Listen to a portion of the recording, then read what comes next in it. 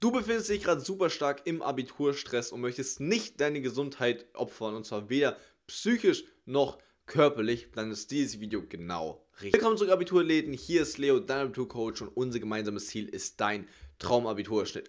Und der Traumabiturschnitt ist natürlich schon wichtig, weil er einfach über deine gesamte Zukunft entscheidet, aber was wir in dem Prozess diesen Traumabiturschnitt zu erreichen natürlich nicht opfern möchten, ist deine Gesundheit, denn Gesundheit ist wie es klischee-mäßig auch immer heißt, wirklich das Wichtigste im Leben. Das habe ich selbst schon in meinem Leben erleben dürfen.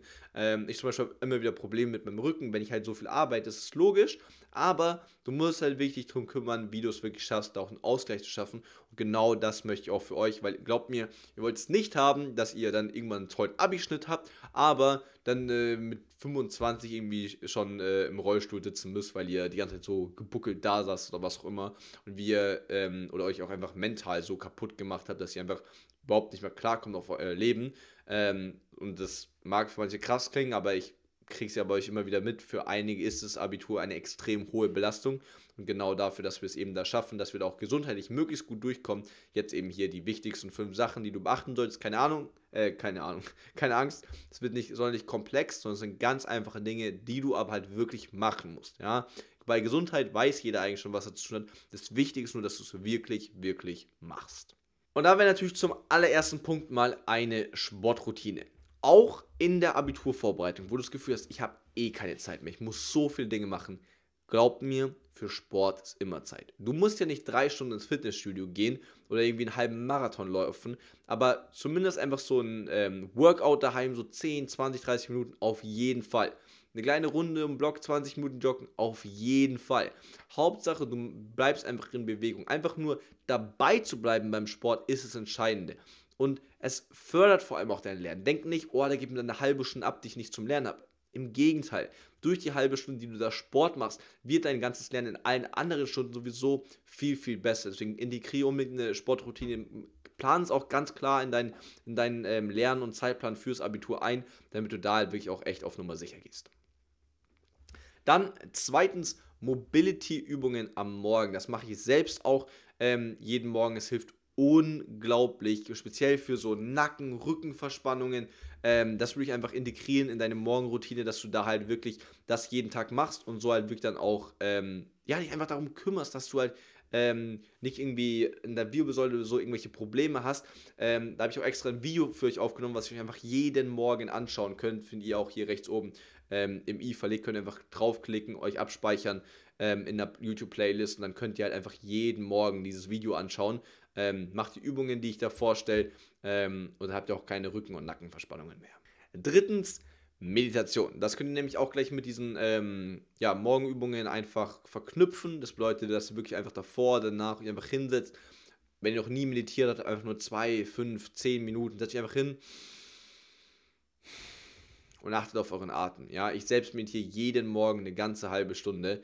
Ähm, das heißt, ich allein dreieinhalb Stunden meiner gesamten Woche verbringe ich in der Meditation. Ähm, und es bringt wirklich unendlich viel. Und gerade um wirklich auch vom Geist her, vom Kopf her klar zu sein, runterzukommen, zu entspannen, was gerade, wenn die Abiturprüfungen immer, immer näher rücken, einfach super wichtig ist. Dafür unbedingt Meditation. Ist auch nicht schwierig, egal was du bisher davon gehört hast. Einfach hier äh, rechts oben im i unser Video zum Thema Meditation anschauen. Dann weißt du einfach sofort auch, ähm, was du machen musst und dann weißt du da bestens Bescheid. Dann der dritte, äh, sorry, der vierte Punkt, ähm, den du machen kannst, gerade wenn du gerade merkst, ey, ich habe gerade richtig Panik vom Abitur, ist dir aufzuschreiben, wovor du denn überhaupt Panik hast. Ja, also zum Beispiel auch im Coaching, ähm, im Traumabitur-Coaching haben wir das letztens mit einer Teilnehmerin gemacht, dass wir gesagt haben, weil sie hat halt gesagt, so, hey, das Abitur kommt immer näher, ich, ich mache einfach Stress, ich mache einfach richtig, richtig Stress. Ähm, und was ich ähm, sie dann habe machen lassen, ist, dass sie 20 Mal den Satz Abitur ist vervollständigt hat. Ja, das heißt, da kam sowas raus wie ähm, Abitur ist eine Hürde auf dem Weg zu meinem Traumstudium. Abitur ist ähm, eine Möglichkeit, seine Noten zu verbessern. Abitur ist ähm, oder sind eigentlich nur vier große Prüfungen. Und alles mögliche, ja. Und dann merkst du nämlich, wenn du das selbst mal ausschreibst, wirklich 20 Stück, nicht nach vier wieder aufhörst, sondern wirklich 20 Mal das Ausschreiben, weil da kommen ganz verschiedene Sachen raus. Und dann schau dir mal an, ähm, welche von den Sachen, die du da aufgeschrieben hast, was davon wirklich diesen ähm, Stress auslöst. Ja, also wenn du halt zum Beispiel das Abitur, das war zum Beispiel bei ihr auch der Fall, wenn du das Abitur als so, eine, als so ein großes Unwetter siehst, was so irgendwie auf dich zukommt, du weißt nicht genau, was da ist, dann ist es kein Wunder, dass du da Panik hast. Und was du dann eben machen kannst, wenn du das aufgeschrieben hast, dass du ähm, dir dann überlegst, wie könnte ich das Abitur denn aussehen? Ja, zum Beispiel einfach als, als richtig geile Chance, um eben die Noten noch zu verbessern. Meistens hast du sowohl positive als auch negative ähm, Gedankengänge in Bezug aufs Abitur und dein Ziel ist da dann eben dir den negativen bewusst zu machen, weil das leitet so einen psychologischen Prozess ein, wodurch das Ganze sowieso aufgelöst wird, weil du selbst merkst, dass es dir nicht dienlich ist, so zu denken und auf der anderen Seite kannst du dich natürlich noch stärker ähm, immer wieder daran erinnern, ähm, wie du das Abitur auch sehen könntest. Und dieser positive Blinkwinkel wird einfach richtig viel helfen. Ähm, und bei ihr, bei der angesprochenen Teilnehmerin, ist halt, die macht es halt fast, sagt so 80% des Drucks ähm, ist komplett weg. Deswegen ähm, macht diese Methode unbedingt. Wir haben natürlich mit ihr auch noch mehr im Coaching gemacht. Ähm, aber das löst für euch schon richtig, richtig viel. Fünftens, block dich gegen äußeren Druck. Das ist ganz entscheidend. Egal, ähm, woher der kommt, ob der von deinen Eltern kommt, ob du das Gefühl hast, dass deine Freunde viel mehr lernen, ist egal.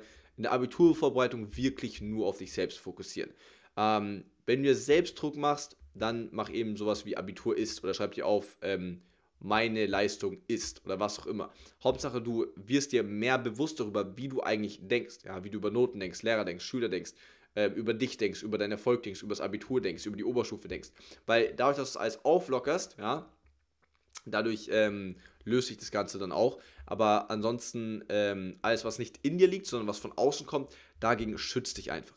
Du brauchst nicht anfangen, ähm, jetzt noch kurz vor knapp deine Eltern davon überzeugen, dass sie dir weniger Druck machen sollen ähm, oder dass sie dir mehr Druck machen sollten oder dass deine Freunde mehr oder weniger lernen sollten oder dass sie mehr oder weniger dir davon erzählen sollten, wie viel sie lernen, sondern block dich einfach dagegen ab. Ja, das bedeutet, sprech einfach mit deinen Eltern zum Beispiel nicht mehr über das Thema Abitur, sofern möglich.